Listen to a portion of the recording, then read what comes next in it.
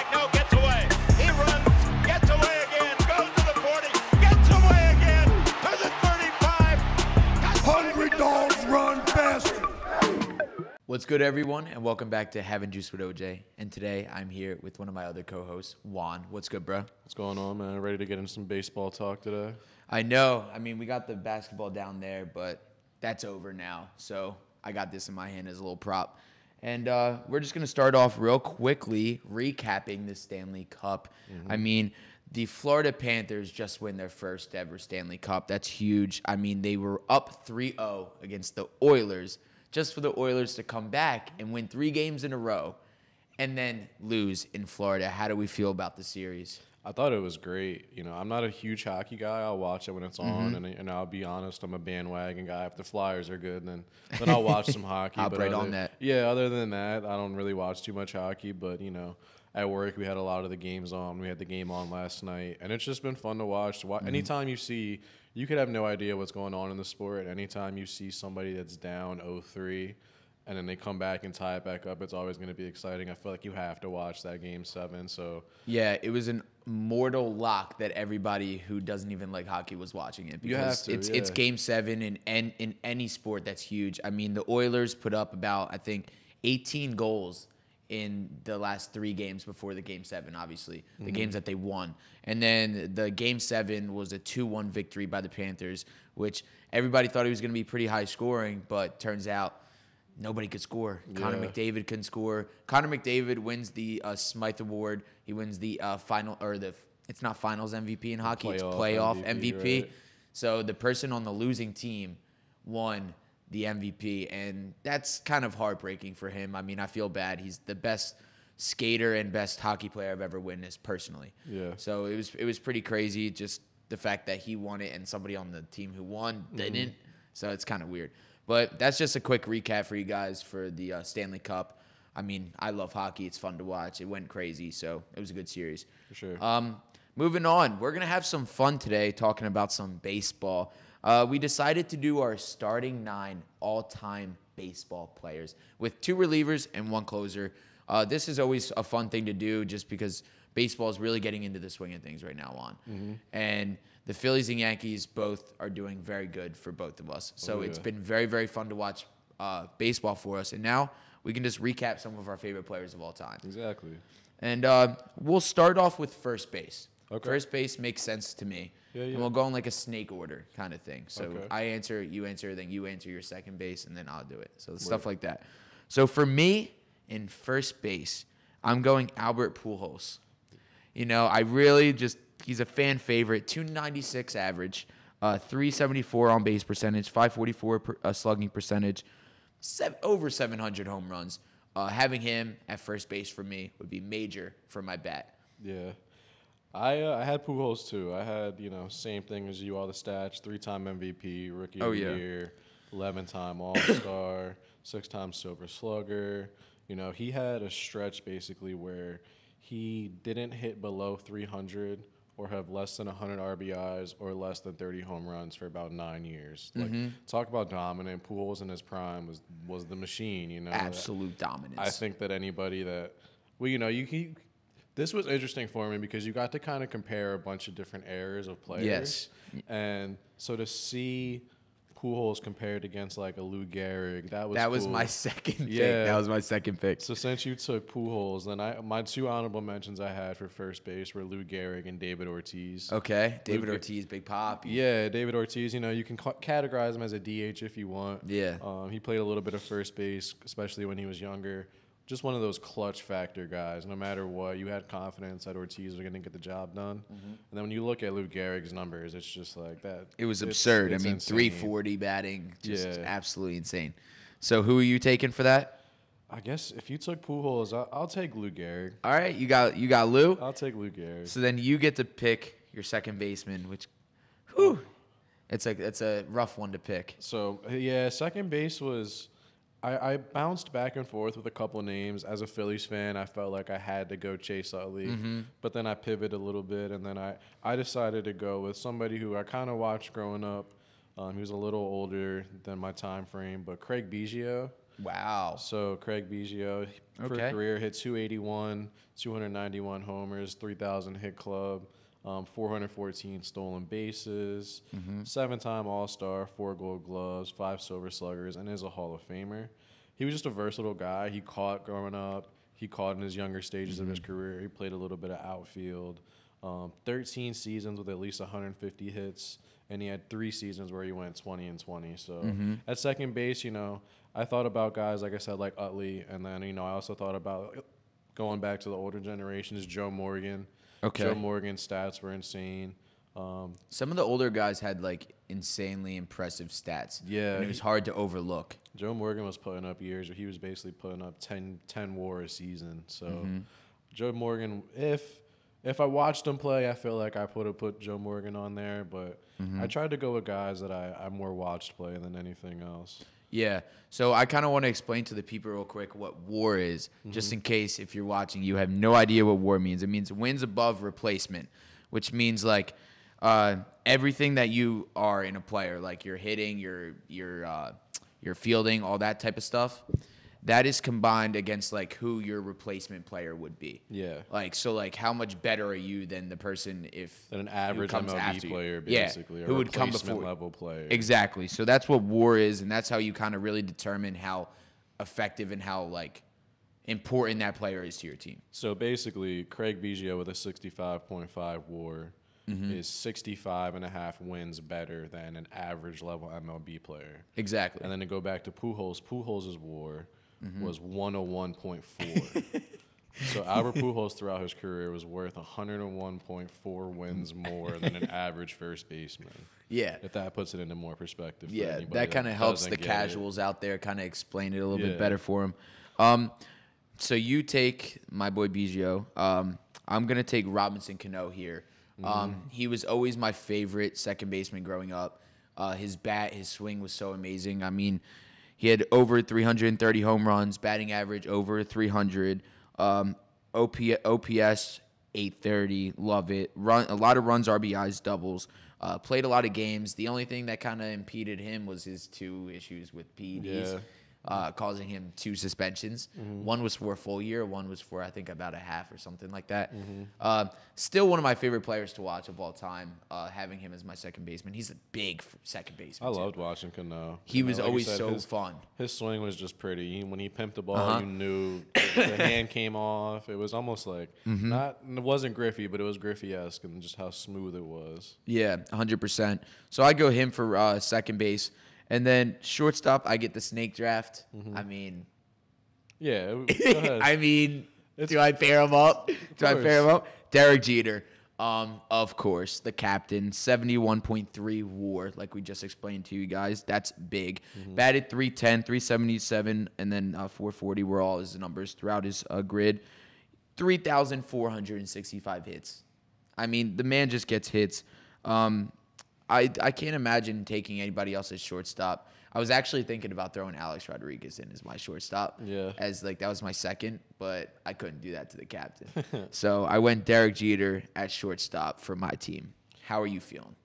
I mean, similarly, it's hard to just not take Jimmy Rollins. Yeah. So that's I exactly mean- what I did. And as I, as I was going through, I kind of put it this way where Rollins is a Phillies fan's Jeter. Like that's who we Mm-hmm. watched growing up at shortstop, Manning, Manning shortstop, Manning the leadoff hole. You know, like that was that was who we had. So I, I had to go with Jimmy. You know, 264 career hitter, 231 homers, um, 470 stolen bases, almost a 48 WAR. Um, won an MVP in 2007, three-time All-Star, four Gold Gloves, and won a World Series. Obviously, um, his 2007 MVP season was just insane. Absurd. Um, 296 with 38 doubles, 20 triples, 30 homers, 94 RBIs, and 139 runs scored, plus 41 steals, That will do it. all in a year. that So will that will get you MVP. I went with Jimmy. Um, I, you know, and again, going back to old generations, Cal Ripken. It's hard to not Mm-hmm. include Cal Ripken in some of these conversations. And then somebody I enjoyed watching growing up was Troy Tulowitzki too. Yeah. Wow. Yeah, I forgot about him. Yeah. That's a good one. Um, yeah. A little funny story about Jimmy. I actually got to hang out with him for a night. Oh yeah. Yeah, I got to take him out. We went to Sampan in Philadelphia. It was absolutely amazing. He's like the nicest guy. I, Yeah. I was fanboying. I mean, when we, we got to watch Jimmy growing up, just watching him grow up, Yeah. you have to pick him in your team, your all time team, because Agreed. watching him was just so great. Absolute legend. Um, who do you have for your third baseman? All right. So third base is where I get one, a little personal, and two, I also think it just makes sense. You could put this guy at first. You could technically put him in right field. Mm-hmm. Doesn't really matter to me. But my favorite player ever growing up, Miguel Cabrera. Um, growing up, my dad sat me down and we watched the 2003 World Series. And I watched him just dominate teams, and I was like, I really like that guy. So growing up, I was actually a Marlins fan. I caught some flack for it from my family because you know they didn't like the Philly kid being a Marlins fan, but of course. I was just a big Miguel Cabrera guy, so I had to throw him at third. He's just insane. Triple crown winner, two MVPs, career 300 hitter, 511 home runs, um, a 67.1 WAR, a World Series champion, um, and we share the same birthday. So Oh, that's your guy. that's my guy for sure. third base, I'm going Miguel Cabrera. Like I said, put him wherever you want, but I put him at third because I felt like, well, you took Pujols from me, but I felt like I Yeah. had to have Pujols at first. Yeah. Um, yeah, who do you got? For me, I actually picked Mike Schmidt. Yeah, I have him as an honorable. Uh, I yeah, I liked Mike Schmidt. I mean, his his WAR is 106.8. yeah, Like that's just absolutely insane. He's widely known as he's probably known as the greatest third baseman I think of so, all yeah. time. Um, he's a 10 Gold Glove winner. Um, home runs 548. Um, just an absolute menace over there at third. Mm-hmm. Yeah. My other honorable mention was Adrian Beltre. Okay. Um, he was just he was insane too. 477 home runs, a 21 year career, which is huge. Uh, excellent defender, also five Gold Gloves. So he was my honorable mention at third, but I'm gonna have to go Mike Schmidt for this one.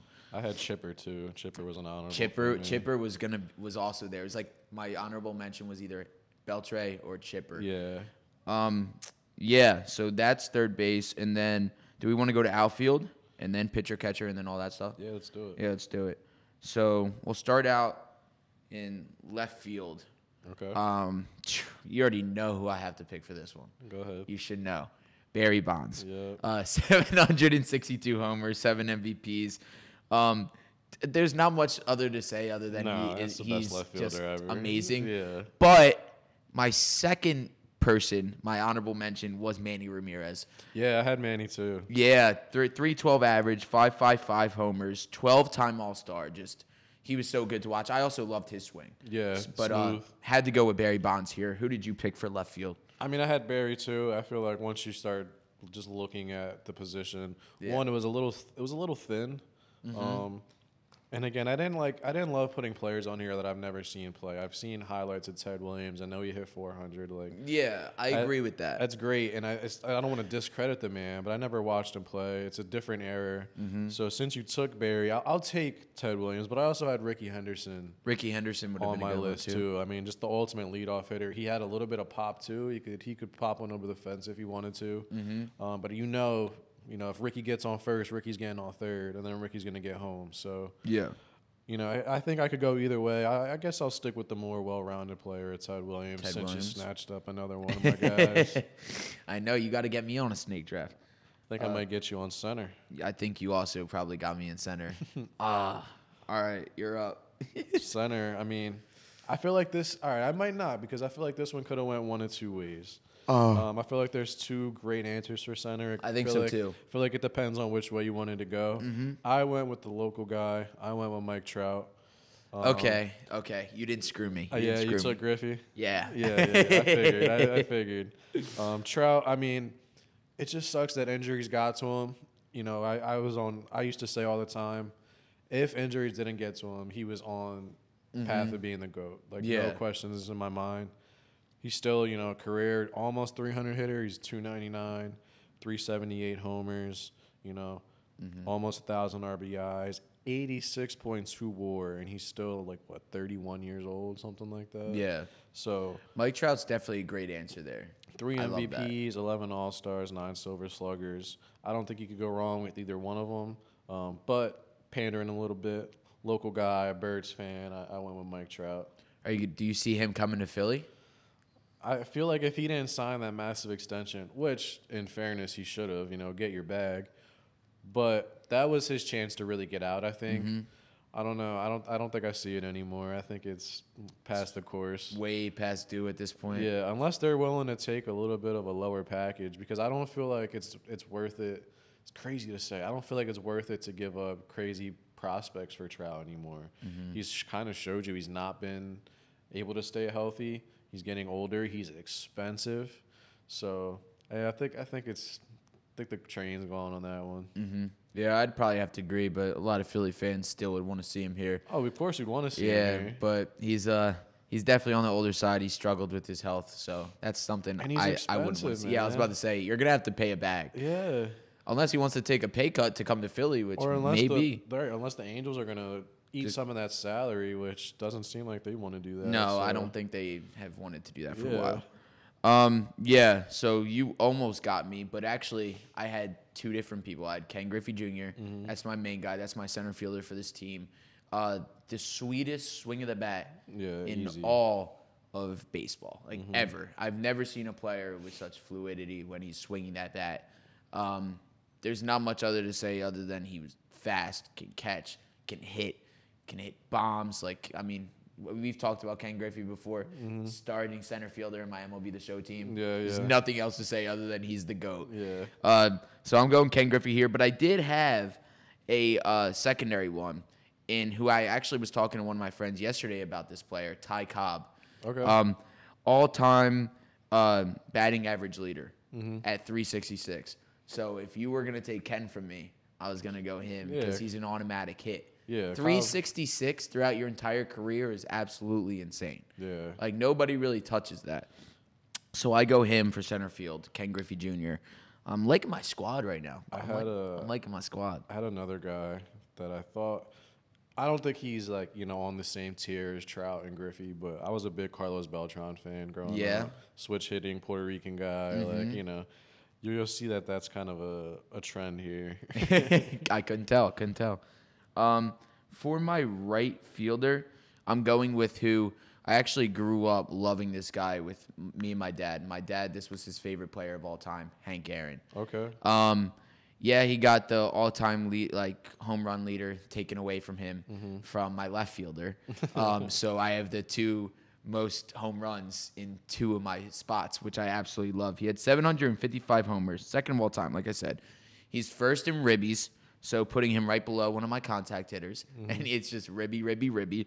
Um, 2,297 ribbies, by the way, and a 25-time All-Star. So I can't hate that in right field right now. Absolutely not. How are you feeling about your right fielder? Again, a little personal here. Um, I think that I think Hank Aaron is great. I think that he's probably the best hitting right fielder ever, one of the best right fielders ever. For me personally, and, and also from a stat standpoint, I'm gonna take my man Roberto Clemente. That was my second. Um, you know, growing up Puerto Rican, like you said, your dad's favorite player is Hank Aaron. Mm-hmm. I don't think there you, you can find a Puerto Rican whose favorite player is not Roberto Clemente, or somebody that or a Puerto Rican that doesn't have some sort of Clemente gear of some sort. So I went with Clemente, and not again. Yes, he's Puerto Rican. Yes, he was he was beloved on the island, but in the same breath, a great ball player. Hit 317 for his career, 240 homers, 3,000 hits on the dot, 13, 1,300 RBIs, almost 95 WAR, a World Series MVP, two-time World Series champion, MVP in 1966, a 15-time All-Star, 12-time Gold, Glove, player. Um, he was a great right fielder, great player, just a better man. You know, passed away, taking hurricane relief on a plane, and um, sad, but career got taken from him. I got to go Clemente. I think he's just the go right fielder for me. Yeah, no, I would have to agree. I mean, he was. You just gave me chills with all that because he really was like that. Um, Hank, like like you said, that's your favorite player. Hank Aaron's mine. Both of them sitting right here on my screen. Just absolute goats in right field, and also just uh, what you got. No, I was just saying right field was cool. Right field Oh had a lot of people. Yeah, they did. They did.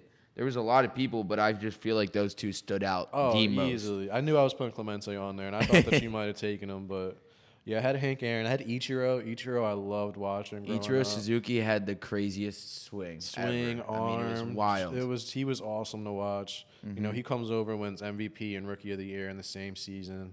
Um, which is like unheard of. unheard of on an amazing team too. That team was loaded up. Mm-hmm. Um, Hank Aaron I had on here. I had another old guy, Babe Ruth. I feel like it's yeah, you, I can't just leave I him couldn't- off. You can't know? leave him off, but I couldn't pick him. I don't know what it is. Like it's just like about how old it was. Like I just couldn't find myself taking him. And then uh, Tony Gwynn. I feel like Tony, Tony Gwynn's just one of those guys that you know just d- got it done. You Mm-hmm. know, just got it done. Uh, it's your turn on the swing of things, I believe.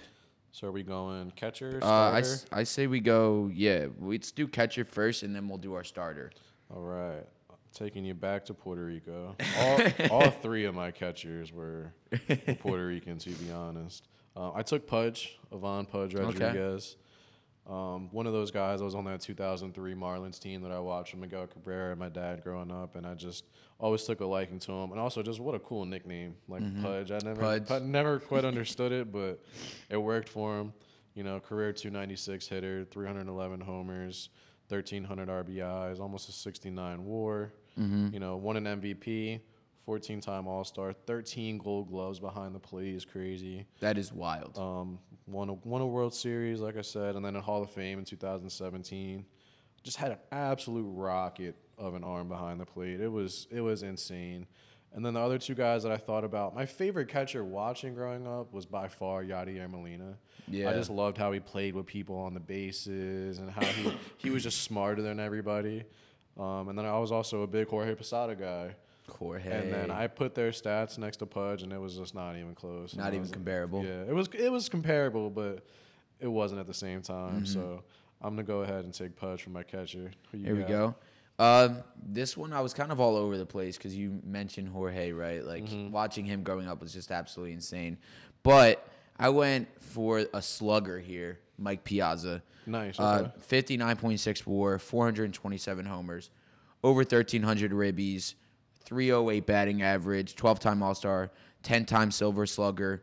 Um, there's not much else, much else to say other than just his bat was electric. Yeah. So like, yeah, like I want a great catcher, but I also just want somebody who hits bombs, Yeah. and he hits bombs. My other guy who I was thinking about is actually Johnny Bench. Yeah, yeah, yeah. Yeah, Johnny Bench was 75 WAR, 389 homer, 1300 ribbies, 267 batting average. Wasn't the best. Uh, 14 time All Star and 10 time Gold Glove, two time NL MVP, and two time World Series champion. Yeah. He has the resume to be in an honorable mention here, but I'm sticking with Mike Piazza for this one. Yeah, Bench is one of those old time players that we just don't know too much about. We can look at the stats and see how good he was. Yeah. we never got to watch him to really see what it's like, you know. But yeah, his just his numbers and his stats just yeah, show you look at the like numbers. crazy. Yeah, you're like, that's. That's actually insane. He looks way better than Mike Piazza, I'll tell you that. um, moving on, we got pitcher. I had two people selected here. okay. Um, like there's there's the main one that you could go for, which is like Cy Young. But like I just I personally couldn't pick Cy Young. No, I couldn't either. Um, I went Randy Johnson here. uh, I was I was on that fence. I didn't go him though. Yeah, I went Randy Johnson, 303 wins, 3.29 ERA, over 4,000 in- innings pitched, a 103.5 WAR, guys. That is that's a high WAR. Yeah. Um, my honorable mention was Clayton Kershaw. Yeah, I had him. Uh, watching him because we actually got to see that a little bit more. Uh, 198 wins, 2.48 ERA, which is wild. Over 2,500 innings pitched, 157 ERA plus. Like he's just he did that thing. Yeah, Clayton's like prime was insane. yeah. Who'd you have for your starting pitcher? So I wanted to, you know, troll a little bit and put Ranger Suarez because that's my man. Oh my goodness. But I didn't. I went with Pedro Martinez. Pedro. Yeah. Um, I thought about it in the sense of if I wanted somebody on the mound for one game against your team, who would I want? And I think Pedro is just one of those. He's just dependable, you know. Mm-hmm. 219 and 100 over his career, 293 ERA, 84 WAR as a as a career, three Cy Youngs, won a pitching triple crown, eight-time All-Star, won a ring, five-time ERA champion. Um, and yeah, he was just a dominant pitcher from '97 through 2003. Um, 118 and 36 in that span with a 2.2 ERA, 213 ERA plus, and a .94 WHIP. Just mowing people down. That's dominance. Mowing guys down. 2000 he went. Uh, he had a 1.7 ERA, a 291 ERA plus, and opponents hit 167 against him in 217 innings. I'm gonna throw Pedro on the bump and see what he does against your right fielder and left fielder, Yeah. because I got trust in him. Yeah. You got big trust in the boy. I do. And then I also went uh, another guy that I liked watching growing up, won an MVP and a Cy Young, uh, Justin Verlander. Just one of those guys that great, great time to watch. He would literally start the game throwing 94 and end the game throwing 100. You know, dominant during his prime with Detroit, and even still in in Houston, great guy. He won. What, did he win a Cy Young in Houston? Did he? Yeah. I think he Yeah, did, yeah, yeah. right? So Verlander is another one of those guys that I was like, yeah, I think I think he should at least make the list as an honorable. I think he did, right? I think he did Yeah, too. yeah, yeah. He had to have. He had to have. Yeah, yeah. He definitely did. Um, Verlander's an absolute stud. I mean, he was so good. Mm-hmm. Um, you can't hate any of those starting pitchers we just named. I mean, any one of them would do good in, in a series against us battling right now. Yeah. Even though I have Barry Bonds and Hank Aaron. Um, yeah. So relievers, we're picking two, and you're up, I believe. So This was hard for me actually. This I was cou- really hard. I couldn't find any relievers that I loved. non-closers, right? Is Yeah. that what you're saying? Yeah, non-closers. Well, like yeah, So, or people that were mostly non-closers. like- yeah. So the first guy that I went with was an MLB The Show legend, to be honest, but I also liked watching him. Um, Yankees guy, Dellin Betances. Okay. He uh, so six foot eight, pumping like 98 at you, and then hitting you with like an 88 mile an hour power curve. Mm-hmm. I remember watching him and just thinking like, how do you touch anything he throws? Yeah. It's insane. So I struggle too finding non-closers that I that I love. That I loved. Yeah. Same. um, so the first one that I went with was Dellin Betances. yeah. You want me to go my second, or you want to? Yeah. go Yeah. Just throw it out there. Uh, my second was Darren O'Day. Okay. I figured, you know, hey, if I'm gonna go six eight from the top, I'll come with another guy that's like six foot coming from the side. Um, and also just an, another guy. He was he went 42 and 21 over his career, 2.59 ERA and 21 saves, and he had over 400 appearances. Mm-hmm. So mostly, uh, mostly like a setup relief guy. Yeah. Um, just- yeah, like I said, crazy arm angle. Uh, 2015, he had 152 ERA and 82 strikeouts with 14 walks. Like, I'll take it. Ain't too shabby. No, not too bad. Not after having Pedro on the bump. Exactly. So you can't hate that. For my relievers, I like like I said, I don't know. Is is the relievers like just not that deep with how good like everyone's been? Like it feel was like- hard. So I, I could name you guys that like I liked growing up, but I didn't Yeah. think they stacked up on a team like this. Yeah. Like I liked Ryan Madson growing up as, Yeah. as like the Phillies setup guy. They had like J.C. Romero, people like Mm-hmm. that. But I agree. Like every time I looked, I couldn't even find lists of setup guys. Yeah, Every- same. Everything was like for this year, fantasy rankings or things Yeah. like that. So yeah, it, it was kind of hard. I don't know. Mm-hmm. I feel like the closers get all the love. Yeah, yeah, closers definitely do get all the love. Um, that, like I said, this is diff- uh, difficult for me, but I actually picked Jonathan Papelbon. Okay. Yeah, my boy had 368 saves, 2.44 ERA, 1.04 WHIP, and a six-time All-Star. Uh, watching him on the bump growing up like was actually dangerous as a Yan- as a Yankees fan. Uh, was actually dangerous. He was very good. Yeah, he came to Philly and now we hate him. But Yeah, yeah, exactly. And then that happened. But like in his prime, he he could do work. So I like him as my reliever after Randy. Um, another one is Billy Wagner. that's my closer. Yeah, that's your closer. That's what I had as my closer. Mm. So I did 422 saves, 2.31 ERA, under a one WHIP, seven time All Star. Um, since you have that as your clo- closer, I'll be nice and I'll take my other guy, Which is uh, Joe Nathan. okay. so he had 377 saves, 2.87 ERA, uh, 1.1 uh, 1-2 WHIP, and a six-time All-Star. Also a really good pick. I'll let I'll let Juan keep his closer.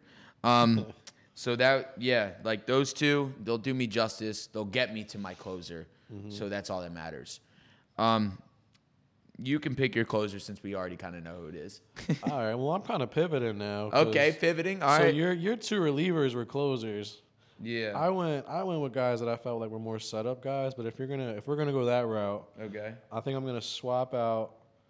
Ah, I like Betances. I might keep Betances in. Nah, I'm gonna take out Betances and I'm gonna put in Goose Gossage. Okay. And then for Darren O'Day, I'm gonna take him out. I'm gonna put in Trevor Hoffman. Oh yeah, yeah, yeah. Trevor. And then for my closer, I'll keep Billy Wagner. Okay, yeah, like you said, Billy. four, 422 saves, seven-time All-Star, reliever of the year, 99.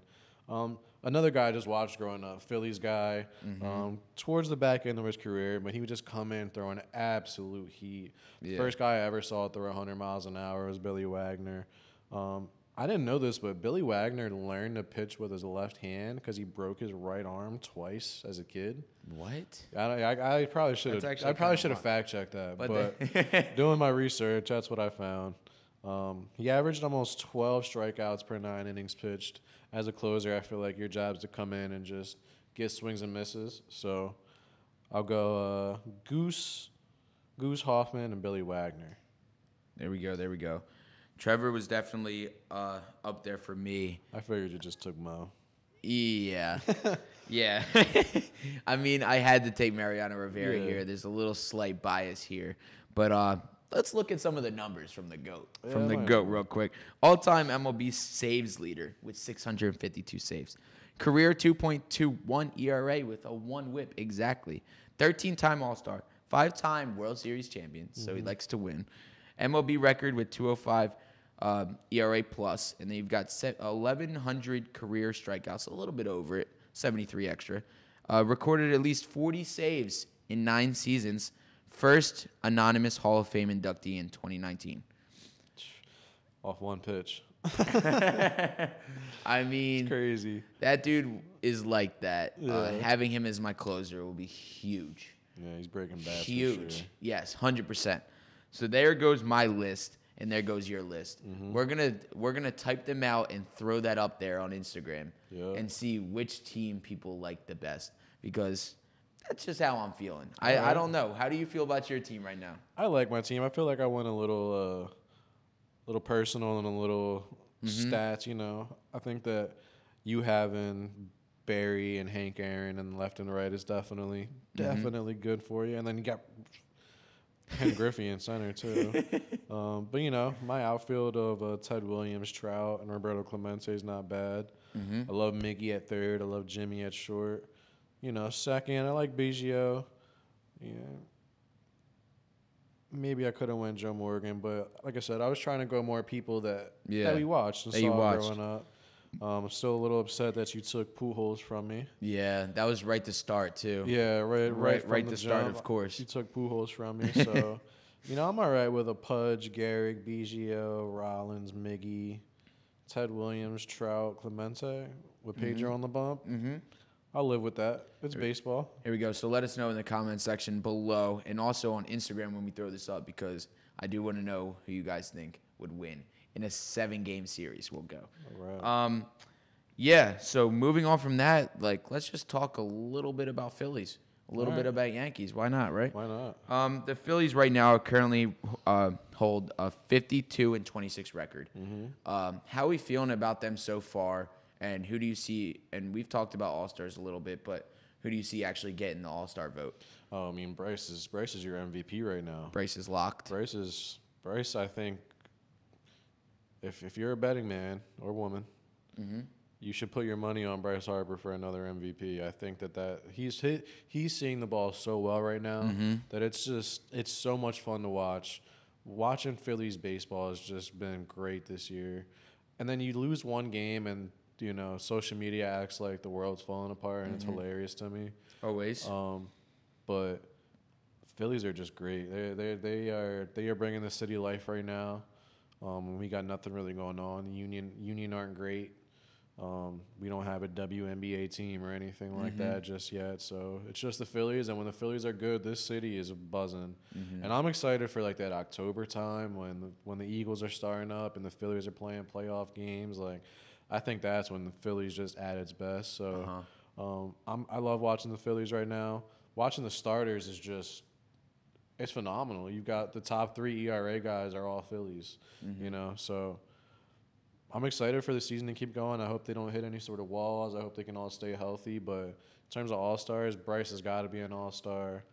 Sucks that Trey got hurt because Trey was on pace to win a batting title. Mm-hmm. Um, Casty's been picking it up lately. He has. Uh, I you know I think I think if I had to pick right now, Rangers should start the All Star game. So just all kinds of stars throughout that team. Yeah, I would have to agree. Uh, what do you think about what you should do with Rojas? Do you think he's the guy? Do you think you take him batting ninth just for his glove? Not during the regular season. Um, in the playoffs, I think you can get away with it a bit more. And I feel like that that sounds backwards, but I feel like in the playoffs, um, you need that guy that can just track down balls in the outfield. I mean, he caught that ball last year off of uh, Acuna's bat when Craig Kimbrel just fed him a meatball. And I don't know if anybody else on the team or in the league is making that catch besides Johan Rojas, you know? So I think the glove is great. I think that they're handling it well, though. Let him get consistent at bats and let him build his confidence up in AAA. David Dahl's crushing the ball right now. Marsh can play a good center field. It's not like you really need him. He's still young enough that you can you have the options to develop him in the mm-hmm. minors. I think keeping him up here and letting him just kind of go through the motions of struggling isn't isn't conducive for what he wants to do or to get him better. So let him get consistent at bats, let him build his confidence up down there, and that's what he's doing. He's crushing it. So hopefully by the time he comes up, he's a little better with the with the bat. But um, during the regular season, I feel like you just got to get you just got to stack wins up. You don't want to be in those wild card games. You want to be playing games at home, especially at the bank. So Yeah, hundred percent. CBP is a tough ballpark to be playing at. Right now, you guys are hitting about a 260 average, which is very solid for a team, and your ERA is a little bit above three.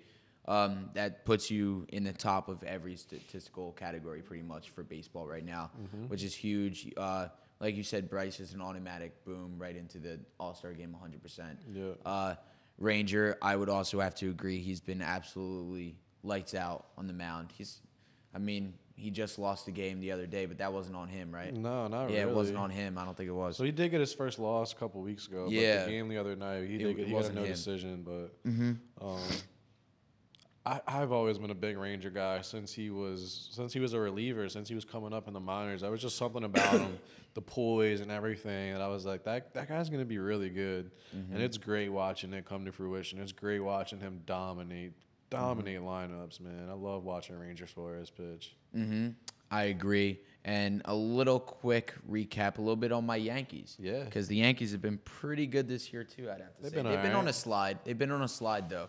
They had three tough series against tough, tough. Yeah, they had tough schedules. Yeah, though. tough schedule. Um, pitching's been eh, like the uh, bullpen really hasn't been doing that well, and the hitting has been abysmal. It feels Yeah. like. But uh, the Yankees are currently 52 and 28, first in the AL East division. Obviously, um, that's a over a 65% win rate um, so far. And they're ranking first in home runs with 84, sixth in runs scored with 279. Batting average a little bit below you guys, sitting at like 255. Um, Juan Soto has been like the guy. I mean, throughout the entire year so far. Pay that man. Yeah, pay that man big bucks. Give him a blank check. Um, Aaron Judge has been like he was so bad in the beginning to start off, batting in the 100s. It felt like um, high 100s, but still bad. And then all of a sudden, just picked up the last like 40 something games. Did you see the the graphic of his stats before he got ejected and after he got ejected? No, It's it's like insanely different. Like it's almost like the ejection is what flipped him to become a monster again. Yeah, I mean, I hope so because that's what's needed right now. Um, the Yankees have to verse uh, the Mets today, actually, in the Subway Series with Gerrit Cole having his second start. Okay. Uh, the Subway Series is always a rough one. Uh, you, you really never know who wins, even though the Mets have 39 wins. Mets are playing well right now. They- though. they do. The Mets they are are. playing pretty well. Their bats are hot. yeah. Yeah, which is which is going to be rough because you know Gerrit Cole's going to give up a home run in the first inning, like he always does. Taijuan Walker style. Exactly. It's the only thing he knows to do, and then he'll strike out 10 in a row after that. but um, yeah, he's on a pitch limit, I think, right now, Yeah. uh, which makes sense. You don't want to hurt him. No. But uh, yeah, like I said, it is so great to have both of our teams doing so well because it gets fun toward the end of the season. It gets Yeah. chippy, but it gets fun. And it's less stress. It's like you know, I don't want to jinx anything. Mm-hmm. But the Knock Phillies, the. Phillies are somewhat. I don't want to say coasting into the playoffs because anything could happen, but I don't have to stress about them having to make up a ten game, di- like difference in the division or the wild card. Like it's just kind of easy sailing. If they lose a game, sure, it might suck, but it's not. It's not the end of the world. People, mm-hmm. I, they lost a game to the Diamondbacks the other day, and you would have thought that like everything was falling apart. And then they come back and they crush them two games in a row. And you don't really hear anything about it, and it's just Yeah. like it's so interesting to me. I find it hilarious. Dude, That's baseball. Like one, if if one team who's not that good beats you in one game out of the series, Yeah. the whole fan base crumbles. Yeah. crumbles. So that's that on both of our teams. A real quick recap on there. We did our all-time starting nine, guys. Uh, let us know what you think. Like, comment, subscribe. Love all that. We'll see you next week. Thank you so much. Thank you, Juan. Yes, sir. In trouble. He's going to be sacked. No, gets away. He runs, gets away